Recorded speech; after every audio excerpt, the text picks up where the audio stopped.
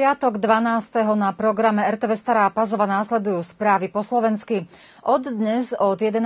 hodiny do 8. júla je kvôli prácam na rekonštrukcii štátnej cesty 2. a radu číslo 100 India Putinci Stará Pazova centrum zatvorená táto cesta smerom na Indiu. Alternatívne smery sú štátna cesta 2. a radu číslo 126 India Putinci a štátna cesta 2. a radu číslo 127 Putinci Stará Pazova. Práce sú riadne označené dopravnými znakmi a signalizáciou.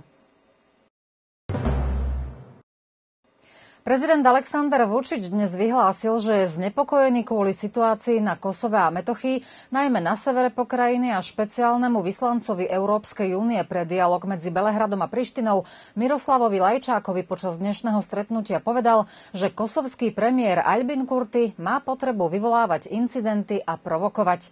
S hovoril aj riaditeľ kancelárie pre Kosovo a Metochiu Petar Petkovič, pričom sa zamerali na blížiace sa ďalšie kolo dialógu v Bruseli, kde sa budú venovať téme tlaku Kurtyho na severe Kosova.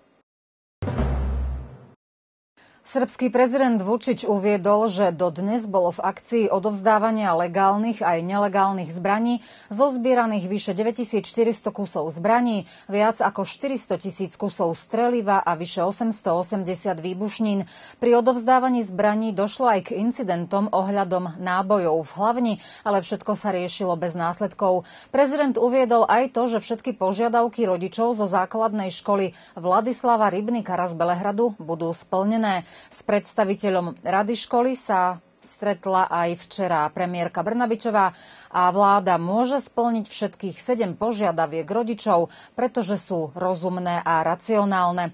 Inštitút pre duševné zdravie v Belehrade na svoje konto dostal dodatočné prostriedky v hodnote 200 miliónov dinárov, ktoré majú byť využité na zveľadenie foriem pomoci deťom a rodičom.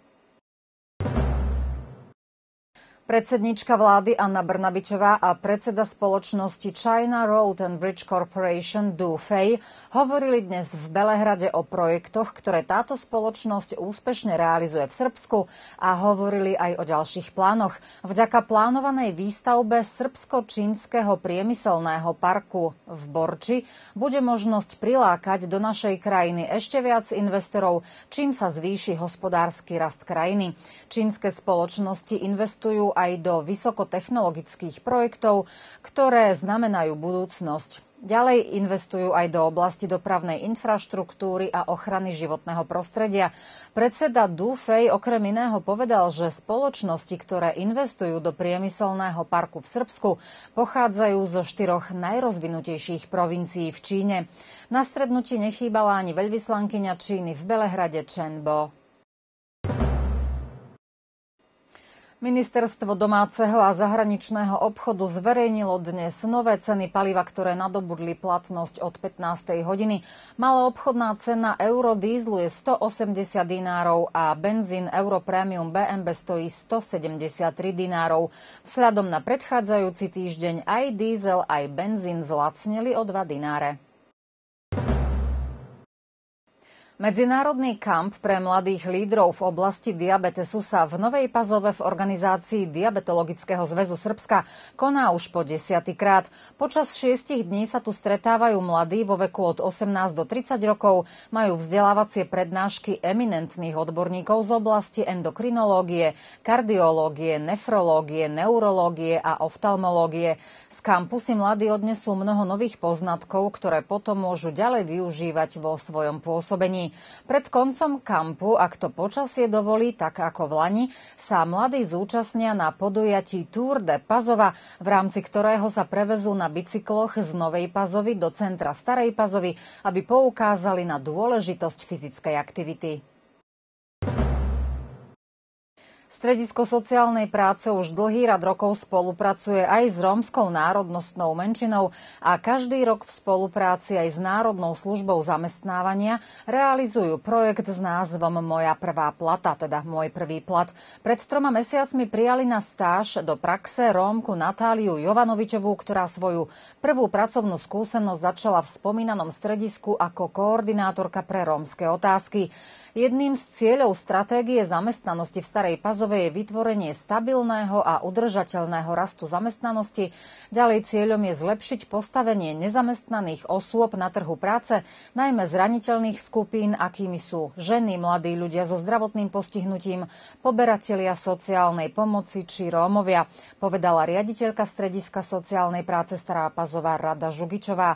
Program Môj prvý plat poskytuje možnosť mladým Rómom, ktorí nemajú zatiaľ žiadnu prax, žiadnu pracovnú skúsenosť, aby praxovali na konkrétnych pozíciách u zamestnávateľa s cieľom získať skúsenosti a kompetencie, aby po skončení účasti v programe mali väčšiu šancu zamestnať sa. Na tomto dnešnom stretnutí boli prítomné aj národná poslankyňa vo vláde Vojvodiny Jelena Jovanovičová a riaditeľka pokrajinskej kancelárie pre inklúziu Rómov Liliana Michajlovičová. 12. mája si pripomíname Medzinárodný deň zdravotných sestier. Tohto roku heslo znie Naše zdravotné sestry, naša budúcnosť. Pri tej príležitosti sa v Starej Pazove v Dome zdravia doktor Jovan Jovanovič Zmaj konal slávnostný program. Ako pre RTV Stará Pazova povedala riaditeľka Domu zdravia doktorka Svetlana Dudičová, v budúcnosti by sa malo viac pozornosti venovať tejto profesii, jej prezentácii a malo by sa organizovať viac edukatívnych akcií pre tých, ktorí ktorí sú už v praxi. Odhaduje sa, že na celom svete túto profesiu vykonáva okolo 28 miliónov ľudí, z nich 200 na pozícii zdravotná sestra alebo zdravotný technik pôsobí v Staropazovskej obci. Spolok pre afirmáciu invalidov Fenix dnes oslávil svoju tzv. krstnú slávu svätého Vasilia Ostrožského čudotvorcu. Tradične sa slávnostne krájal koláč a za nového kuma bol vybratý diakon Stefan Gavrovský. Členovia spolku sa spolu so svojimi najbližšími spolupracovníkmi a priateľmi pomodlili za zdravie všetkých ľudí v týchto ťažkých časoch s nádejou, že prídu lepšie, svetlejšie dni. Ako povedala predsednička spolku Fenix, Sielica Despotová, tento sviatok slávia už 23 rokov a nevynechali ho ani teraz bez ohľadu na okolnosti v krajine. V organizácii Zväzu ochotníkov obce Stará Pazova s podporou obce Stará Pazova v nedeľu sa od 10. hodiny bude v divadle v Starej Pazove konať oblastná prehliadka hudobnej tvorby detí Sriemu. Tajomník Zväzu Petar Neranžič povedal, že na základe ústnej dohody s predstaviteľmi z Ústavu pre kultúru vojvodinských Slovákov sa prehliadka predsa len uskutoční, aj napriek tomu, že niektoré hostiteľské mestá prehliadku odročili. Tu v Starej Pazove vystúpi spolu okolo 850 tanečníkov, hudobníkov, spevákov, a to v troch kategóriách pôvodná tvorba, tradícia, mladšia a staršia veková skupina. Svojich predstaviteľov tu bude mať aj Slovenský kultúrno-umelecký spolok hrdinu Janka Čmelíka zo Starej Pazovy, aj súbory z Vojky, Belegiša, Indie, Krčadina, Nových Karloviec, Surduku, Novej Pazovy, Starých Bánoviec a Nového Slankamenu.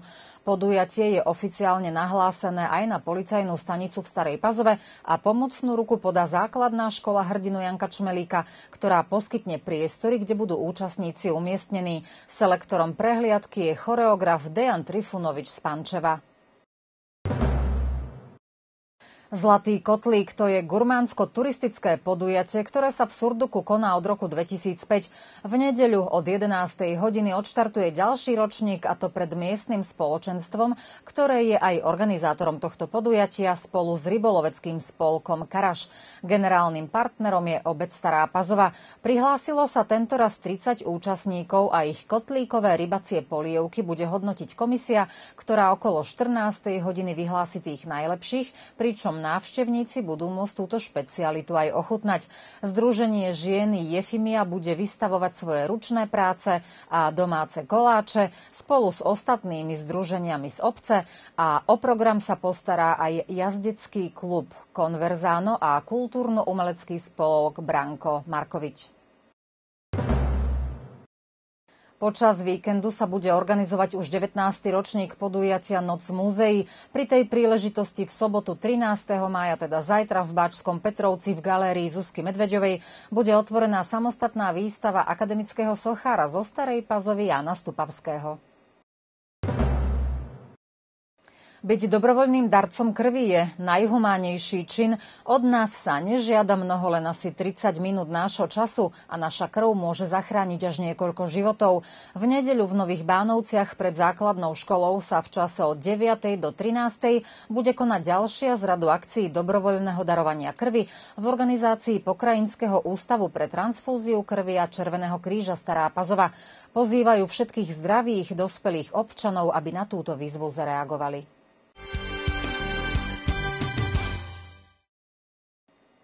Dnes v športovom centre Futbalového zväzu Srbska v tzv. Dome futbalu v Starej Pazove sa konalo prvé riadne zasadnutie zhromaždenie Futbalového zväzu Vojvodiny.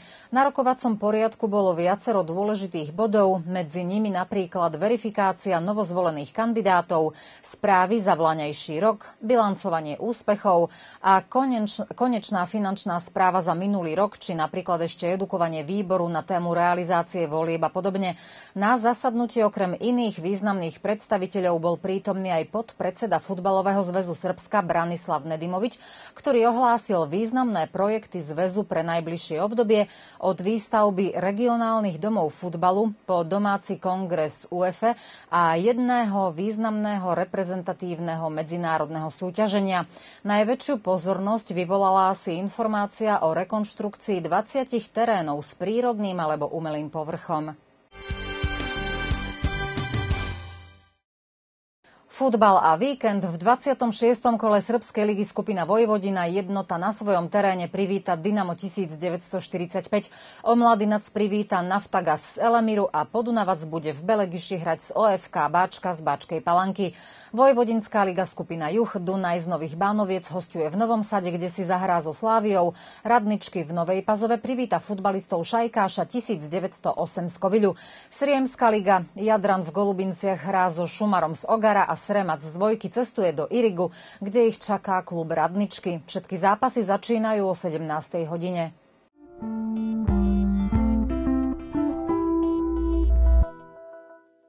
Podľa meteorológov víkend bude oblačný, v sobotu teploty od 12 do 22 stupňov a k večeru možný slabší dážď. V nedeľu o 5 stupňov menej, maximálna teplota sa vyšplhá na 17 stupňov a malo by pršať do obeda, pričom po obede už len oblačno. V sobotu mierny, v nedeľu o niečo silnejší vietor zafúka z východu. Aj následujúce dni okolo 20 stupňov a daždivo. Zaujímavá trojica má meniny v týchto dňoch. V kalendári je pri dnešnom dátume uvedený Pankrác, zajtra Servác a napozajtra Bonifác. S týmito menami sa viaže aj niekoľko pranostík, napríklad, že pred Servácom nie je leta a po Servácovi nie je mrazu. Užijte si príjemné víkendové dni, majte sa pekne.